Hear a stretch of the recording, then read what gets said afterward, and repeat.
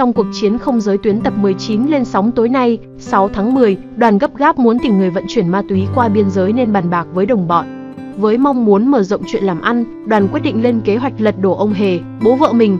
Vậy là tao phải phá cuộc chơi của ông già. Nhưng không còn cách nào khác, phải làm thôi. Tao cũng không thể sống mãi dưới cái bóng của lão ta được, đoàn nói với đàn em.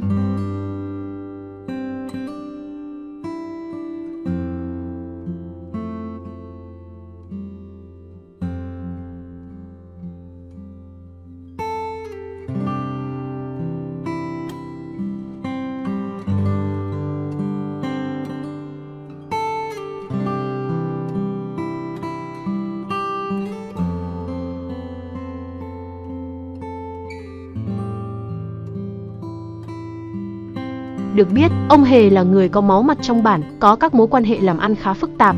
Trong tập trước, ông Hề bị nghi có liên quan đến cái chết của bố Lang Phương. Liệu kế hoạch phá hoại của đoàn có thành công? Là một người đầu óc có sạn, ông Hề sẽ dễ dàng để con rể qua mặt.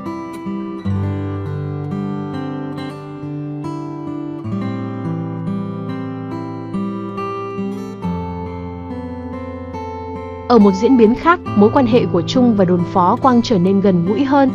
Trung và đồn phó Quang có cuộc trò chuyện cởi mở với nhau. Tại đây, câu chuyện của gia đình Quang cũng lần đầu được nhắc đến. Được biết, vì tính chất công việc, Quang phải xa nhà, anh thường xuyên rơi vào trạng thái nhớ gia đình ra giết. Thấm thoát Quang đã trải qua hai thập kỷ cống hiến cho bản mường luông. Cũng nhân dịp này, Quang gửi cho Trung vài món quà quê, điều này khiến đồn trưởng rất cảm kích.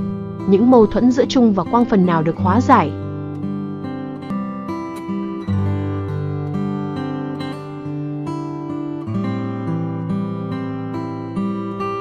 Cũng trong tập này, vì muốn biết tình hình của em trai nên Trung gọi điện cho sếp của Hiếu để hỏi thăm tình hình.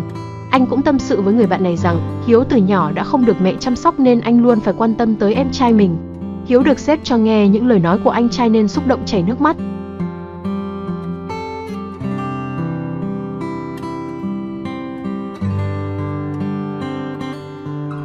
Liệu đoàn sẽ làm gì để chống lại bố vợ? Diễn biến chi tiết tập 19 phim Cuộc chiến không giới tuyến sẽ lên sóng tối nay, 6 tháng 10, trên VTV1. Mời các bạn đón xem. Bây giờ xin chào và hẹn gặp lại. Chúc các bạn có những phút giây thư giãn cùng thông tin 24 giờ. Đừng quên nhấn like, subscribe ủng hộ. Cảm ơn.